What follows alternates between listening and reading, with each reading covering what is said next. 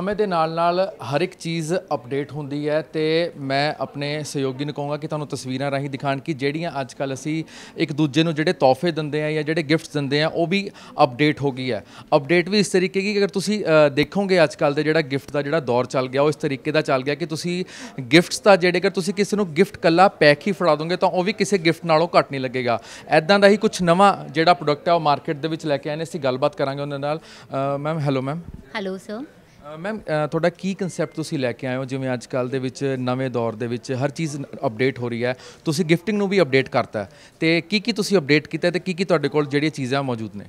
तो चंडीगढ़ में क्या होता है कि हम कभी जगत सिंह जा रहे हैं, कभी वैनिटी बॉक्स जा रहे हैं, कभी फैब इंडिया जा रहे हैं। तो मेका विश ने ये सबको एक साथ, एक ही रूफ के अंदर लेकर आ गए, एक ही छत के नीचे लेकर आ गए हैं। और हम अब सब जगह का कॉन्सेप्ट को यहाँ लेकर आ गए हैं। प्लस इसमें हमारा क्रिएटिविटी भी एडेड है, जहाँ हम हैम्पर्स को पर्सनलाइज कर देते हैं, आपके फ़ोटोज़ के साथ, आपके थीम के साथ, आपको जिसको देना है, भाई को देना है, बहन को देना है हस्बैंड को देना है, उसके अकॉर्डिंग कोटेशंस पूरा डालते हैं, पूरे कटआउट्स के साथ सो उस कॉन्सेप्ट में हमने ये नया कॉन्सेप्ट यहाँ चंडीगढ़ में लाया है और ट्राई सिटी भी बेचते हैं इंडिविजुअल और कॉर्पोरेट ऑर्डर्स भी लेते हैं और हमें अब्रॉड भी पैन इंडिया डिलीवरी भी है हमारा ਤੇ ਮੈਮ ਪਹਿਲਾਂ ਕੀ ਹੁੰਦਾ ਸੀ ਜਦੋਂ ਕੋਈ ਵੀ ਇਵੈਂਟ ਹੁੰਦਾ ਸੀਗਾ ਤਾਂ ਹਰ ਬੰਦੇ ਦੀ ਇੱਕ ਅਲੱਗ-ਅਲੱਗ ਡਿਊਟੀ ਲਗਾ ਦਿੰਦੇ ਸੀਗੇ ਲੇਕਿਨ ਤੁਸੀਂ ਉਸ ਡਿਊਟੀ ਨੂੰ ਇੱਕ ਜਿਹੜਾ ਕੀ ਹੈ ਛੱਤ ਥੱਲੇ ਅਵੇਲੇਬਲ ਕਰਤਾ ਹੈ ਤੇ ਮੈਮ ਕਿਹੜੀ-ਕਿਹੜੀਆਂ ਚੀਜ਼ਾਂ ਤੇ ਕਿਹੜੀ-ਕਿਹੜੀ ਪਾਰਟੀਆਂ ਤੁਹਾਡੇ ਕੋਲ ਅਵੇਲੇਬਲ ਹੁੰਦੇ ਕੀ ਕੀ ਮਤਲਬ ਤੁਸੀਂ ਇਵੈਂਟ ਕਰਦੇ ਹੋ ਜੇ ਅਗਰ ਤੁਹਾਡੇ ਕੋਲ ਕੋਈ ਆਂਦਾ ਹੈ ਤੇ ਤੁਸੀਂ ਕਿਹੜੀ-ਕਿਹੜੀ ਚੀਜ਼ ਅਵੇਲੇਬਲ ਉਹਨਾਂ ਨੂੰ ਕਰਾ ਕੇ ਦੇ ਸਕਦੇ ਹੋ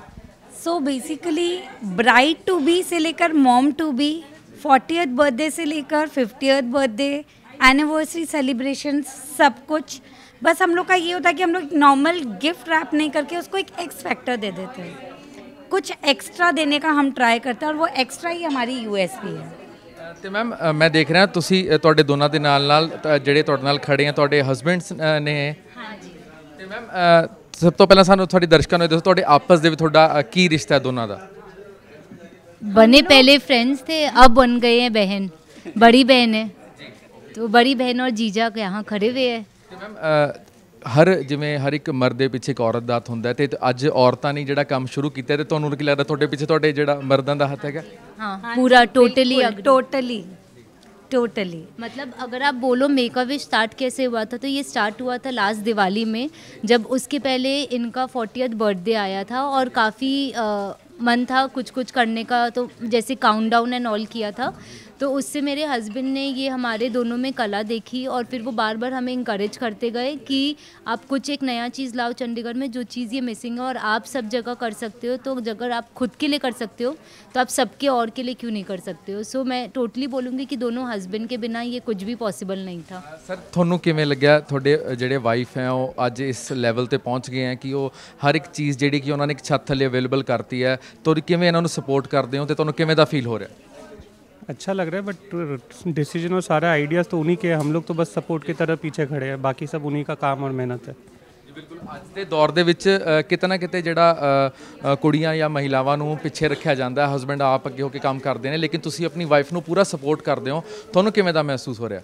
हम्म, अच्छा लगता है जैसे अभी इसने काम चालू किया है एक साल होने को आ रहा है अब ये लॉन्च कर रहे हैं तो इन्होंने काफ़ी मेहनत की है काफ़ी घूमे हैं बॉम्बे चेन्नई मुरादा मतलब एंड डेस्टिनेशंस तो हम पीछे थे इनके ये करते थे हम साथ सपोर्ट करते थे इनको ਤੇ ਮੈਮ ਸੁਣਨ ਦੇ ਵਿੱਚ ਇਹ ਵੀ ਹੈ ਕਿ ਜੇ, ਅ, ਜੇ ਗੱਲ ਕੀਤੀ ਜਾਵੇ ਸੈਲੀਬ੍ਰਿਟੀਜ਼ ਦੀ ਤੇ ਵਿਰਾਟ ਕੋਹਲੀ ਦਾ ਵੀ ਜਿਹੜਾ ਕੀ ਹੈ ਗਿਫਟ ਜਿਹੜਾ ਕਿ ਇੱਥੋਂ ਪੈਕ ਮੈਂ ਕਿਵੇਂ ਤੁਹਾਡੇ ਕੋਲ ਪਹੁੰਚੇ ਤੇ ਕਿਵੇਂ ਤੁਸੀਂ ਉਹਨਾਂ ਦਾ ਹੈਂਪਰ ਜਿਹੜਾ ਤਿਆਰ ਕੀਤਾ सो वाया इंस्टाग्राम ही उन लोगों ने हमें अप्रोच किया था। हमें भी आ, सिर्फ़ 10 मिनट पहले ये पता लगा था कि विराट कोहली के लिए बन रहा है बिकॉज़ ये लोग बहुत ज़्यादा